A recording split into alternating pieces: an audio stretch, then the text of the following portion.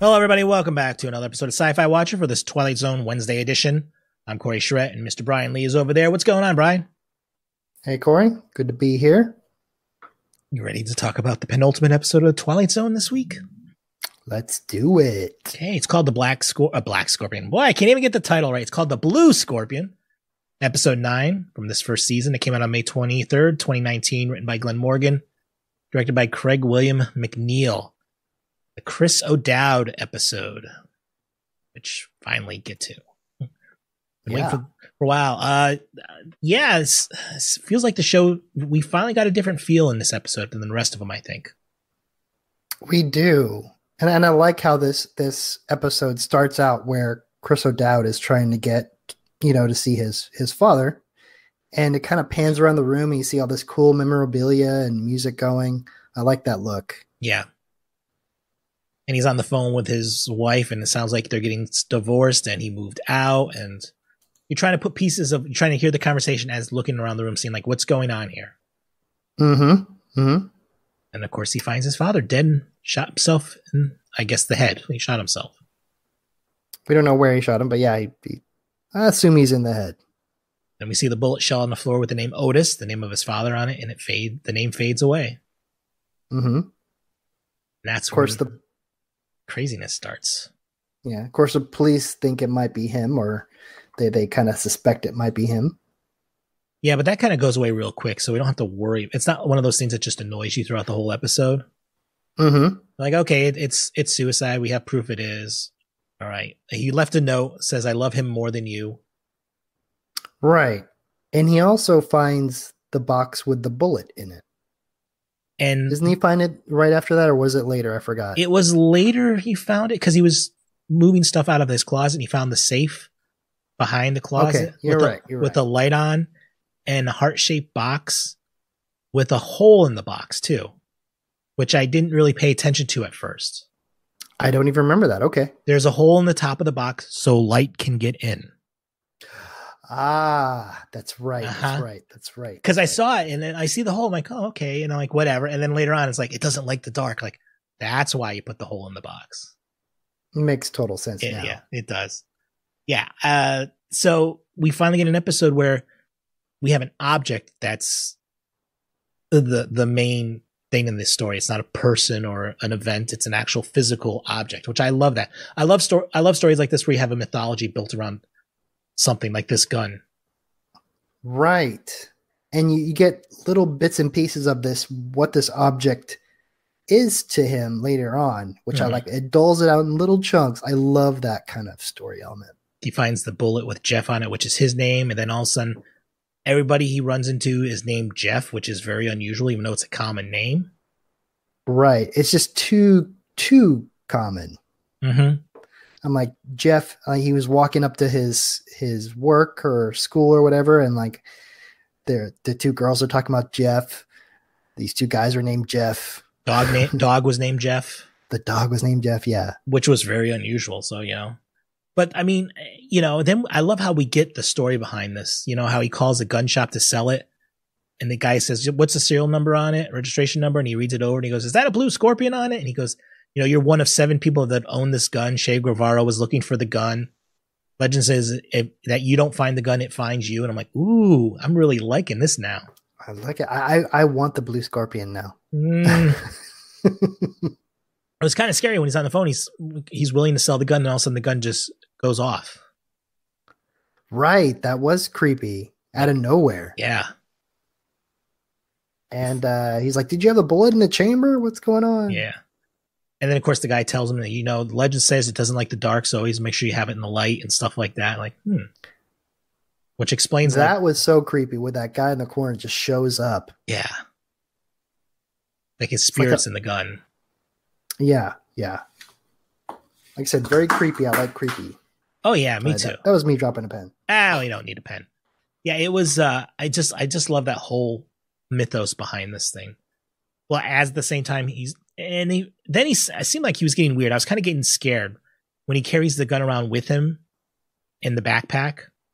Kind of uses it like like he's he's braver now because he has a gun with him. It's like oh, I don't. I'm kind of kind of afraid here. Well, it's it's like it, it- he he grows an attachment to him after he uh he goes to the uh gun range to shoot it. And of course, to me, that was telegraphed on how that was going to go. But that was so it felt so awkward with him walking up to the uh the cash register and like explaining about the gun and all this and Mhm.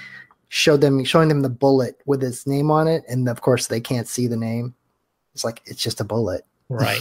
and he starts like tilting the gun at his side and he's doing all these movie shootings and shit like that, stuff like that. And, uh, sorry. Um, you know, it's just like, okay, it's a little hokier, but, but you knew what's going to happen at the end once he gets to that last, that one bullet in the clip. It's not going to fire. Yeah, I, I figured as much. That was like obvious because obviously the bullet needs to be used on Jeff. And my question at one point in the middle of the episode is, which Jeff? I'm thinking he's not going to shoot himself. I had a feeling it wasn't for him. The bullet was not for him. I didn't I wasn't convinced though. I But was. he was convinced. I didn't understand why Jeff was convinced because when it stopped, he's like, "Oh, you would never hurt me." He was like rubbing it. It's like you would never hurt me, right? Yeah, which to me made no sense. I'm like, well, then your name's on it. If you sh- put it up to your head, you could probably kill yourself, but you can't go shoot people that are not named Jeff. I want to know the backstory of Otis too. That was like in the back of my mind. Like, Why- what did what happened to Otis, Why did he kill himself? or was it just that was his destiny? Yeah, and why did he did he love the gun more than his son? I mean, that's why did he why did he write that note? Right. That was so there was so much yeah, there's so much backstory there. I was kind of interested in. hmm I mean, then he, you know he's going to talk to the lawyer whose name is Jeff to talk about the the wife divorced him because she fell in love with another guy whose name is Jeff, and it's just like coincidence after Uh-huh. coincidence. Yeah. Yeah. So my question is like, who is he going to shoot that's named Jeff? Like, I'm Yeah. thinking, my and my my gut feeling is like he's going to go shoot the guy that she's with now. Mm-hmm. I mean, before we even get to that part, I'm like, he's going to shoot him. You thought that way back then, huh? Yeah, I felt that's where it was going to go. I mean, that's the beauty of this story. It could have been any of those Jeffs. Yeah, they could have written like 20 different endings to this, which Right. which would have worked out. hmm Um, but yeah, then we we kind of fast forward to the uh, you know, Jeff stalking, you know, new Jeff hmm at his home when someone breaks into his car. Yeah, which like, hello. At first, I thought it was like Jeff that was uh, her ex's new boyfriend. Like he was like outside and he saw him over there and he's like he was going to stop him from doing something stupid. But he was at the boyfriend's house. He was looking at the boyfriend. Yeah, I thought I think, but it was his wife's house. You know who I thought it was? No, I thought it was the gun shop guy. I thought he had been following him so he could steal Blue Scorpion. huh? I didn't think about the who it really was. I thought it was that guy because he kept calling him and Yeah. calling him. He's like, "I really want your gun. I'll give you whatever you want." Mhm. I thought he was like secretly following him, and then he's finally breaks the window and he wants to steal the Blue Scorpion. Yeah, and and I once that happens, I'm like, I know where this is going because you see the gun fall into the dashboard, and I'm like, the gun's going to go off on its own because we already know it's done it before. Right, right.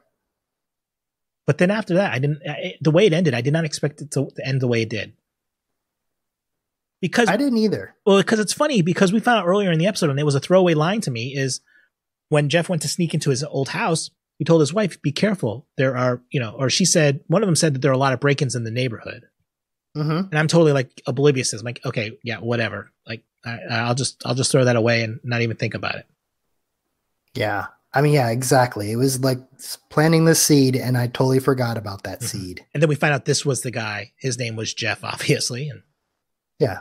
the gun killed him. And and then I laugh after that. I'm like, you know, she the the wife gave a concession, gave you know Jeff what he wanted, pretty much. They divorced amicably, and he gets the chair of the anthropology department, and uh gets the gun back from the police, and bye bye, it's over with. He gets rid of the gun. Yeah, I did not expect this to have a happy ending. I totally, when coming into this, thought it was going to end like Otis. I did. I did too. I was expecting something to happen, and it was just like, and I was going to think he's going to try to throw the gun, and it's not going to go in, or it's going to show up at his house or something. like a Ouija board, kind of. Yeah, kind of like no matter what happens, it's still going to stay with him. And no, he had one bullet with with the name of Jeff on it. He used it on Jeff. His time with the gun is over with.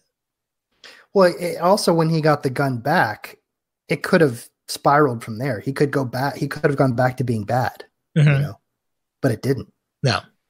which which was cool. Mm-hmm. Did not expect that. And then we see Um, the kids with the going fishing. They find the gun on the shore, and it's like, ooh, well, I'm not liking this now. Well, I mean, just perpetuate the story. Of this the gun keeps going on. It finds another another subject. Mm-hmm. I love it. It was it was the best episode so far this season. It was. It was a solid Twilight Zone. It's fitting of the name Mhm. for once. Yeah, it's about time. I mean, I've been dragging my feet for eight episodes, and I'm like, ah. I was expecting so much more, and I'm like, okay. I'm like, I saw the trailer for this one. I'm like, this one looks good. This one could be good. And then like, it ended, and I'm like, I like this one. It didn't. It didn't fail. Finally, It didn't fail. Twilight Zone seal of approval. Finally. Yeah. And uh how would you rate this on a scale of one to ten for this one? I mean, this is a solid nine, nine and a half. It's up there. Yeah, I gave it eight and a half in my book. It's if you're gonna watch one episode of the show, this is the one to watch. This is the one that gives me hope that this is still a good show. But it took a lot of iterations before we can get to this good episode. It did. I sad. I think we need more of these um object based episodes and not Mhm. people people based or whatever. But we will have to see. No, I think it was also it was good writing and good directing. Mhm. You know, It so was. it all comes down to the writing. It really does. If you have a good script and you don't basically rip off something that you've seen before, you do something different with it. Yeah, and, and there have been other object um, episodes. I just couldn't remember them at the time. I was talking to Corey before this, but we found one where there was one called Button Button from the '86 reboot, so it Mhm. wasn't the original, but it was another. There've been other object based um, episodes. Oh yeah, even the original has has them too. Um, I can't think of any right now, but there are well, like um, the uh the chatty Cathy doll, whatever it was called, Talking Tina doll for the from the original. Mm-hmm. Hi, I'm Talking Tina, and I'm gonna kill you. You know, type of things like that. We've Yeah. had we've had we've had them before, but yeah, it's it's nice to finally see it in in this this version of the show. Yeah. So if you're gonna, yeah, if you're gonna watch one episode, check out the Blue Scorpion. And that's we that's it for this week's episode. I want to thank Bryan for being here. And Bryan, where can we find you online? Uh, I can find me on Twitter, Instagram. Just look for Bryan Says. And as always, we're at sayproductions.com slash sci-fi watcher. Check us out there. Three episodes a week we're doing right now. So check them all out. sayproductions.com slash sci-fi watcher. That's it for this Wednesday edition. Until next time, have a great one.